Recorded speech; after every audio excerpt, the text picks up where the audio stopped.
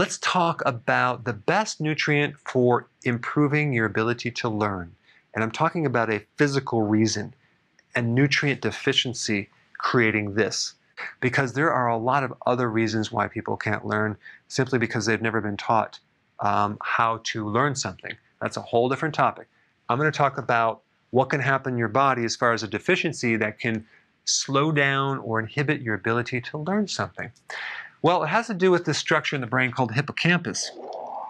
Now, the hippocampus is a structure in the brain that has everything to do with learning and spatial memory, your ability to locate where you are in time and space, and remember things like where you parked your car. To be totally transparent, they don't exactly know 100% what this does exactly, but it's associated with learning and memory and spatial memory. I just wanted to point that out. We know there's some type of connection with the hippocampus. And we do know that the omega 3 fatty acid, DHA, makes up 20% of the gray matter in your brain, and it really supports the retina. DHA is so important with your brain and your nervous system, and your retina is an extension of your brain. Okay, so it allows you to see. So DHA decreases oxidative stress. It decreases inflammation. It's a powerful antioxidant. It increases BDNF, brain derived neurotrophic factors. This is something that helps your brain grow, it helps increase neurons.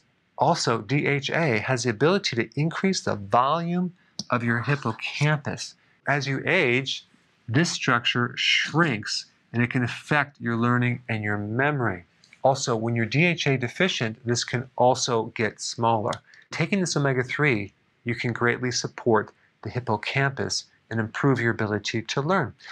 DHA is involved with synapses, the communication between the neurons.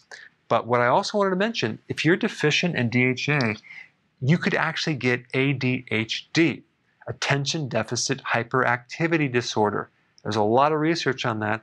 I put some links down below. So if you know of someone that has this or dyslexia, have them start taking DHA.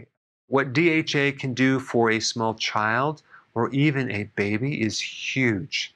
A mother who's pregnant needs to take this fatty acid for sure. A mother who's breastfeeding needs to take it. The formation of the brain and the retina for a growing child depends on DHA. If an infant is not breastfed, they're fed formula. The entire structure, the makeup of the retina, is completely formed differently than a child's retina with breast milk. The one really simple thing you could do is you could probably get it in a liquid, give it to your infant, give it to your kids.